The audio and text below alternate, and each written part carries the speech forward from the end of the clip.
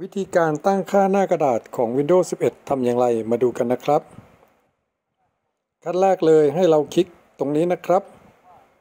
แล้วพิมพ์คำว่า Printer and Scanner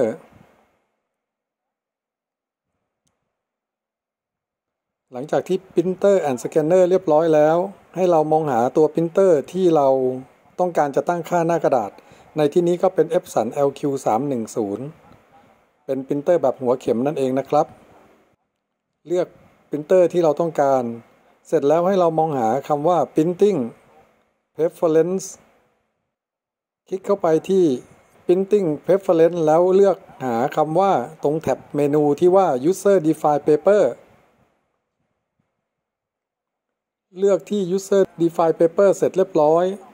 ให้เรามาตั้งชื่อ หน้ากระดาษขนาดกระดาษที่เราต้องการ ผมจะตั้งเป็นสลิปเงินเดือนนะครับ หรือใครจะตั้งว่าอะไรก็ได้ตามใจที่เราชอบหรือว่าเราเข้าใจมันนะครับ เสร็จแล้วให้เลือกเป็นนิ้ว inch นะครับ แล้วก็เลือก y y นั่นก็คือซ้ายไปขวานั่นเอง ผมเลือกเป็น 9 นิ้ว ส่วน high ก็คือ บนลงล่างก็คือ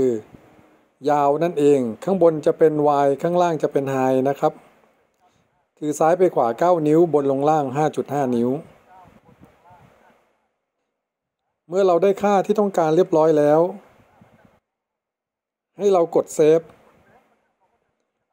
กดเซฟ มันก็จะมีค่าหน้ากระดาษขนาด 9 คูณ 5.5 หรือประมาณครึ่ง A4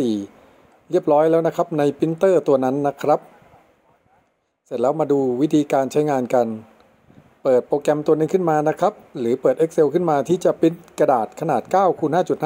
5.5 ให้เราไปที่ไฟล์นะครับ เสร็จแล้วเลือกพิมพ์เลือกพิมพ์เตอร์ที่เราตั้งค่าหน้ากระดาษเอาไว้ เมื่อสักครู่เป็น Epson LQ310 ซึ่งเป็นพิมพ์เตอร์หัวเข็มนั่นเอง เสร็จแล้วก็มาเลือกขนาดกระดาษที่เรา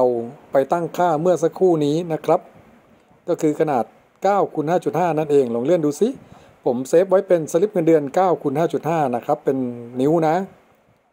ดูด้านขวานะครับ อันนี้จะเป็นกระดาษขนาด A4 เดี๋ยวเราจะมาเลือกเป็น9คูณ5.5อ่า เดี๋ยวเรามาดูกันนะครับว่า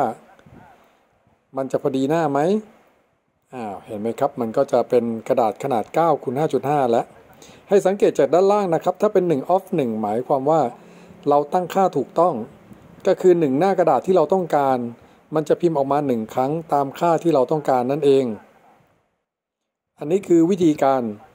ตั้งค่าหน้ากระดาษขนาด9คูณ5.5 บน Windows 11 ไปลองดูกันนะครับ สวัสดีครับ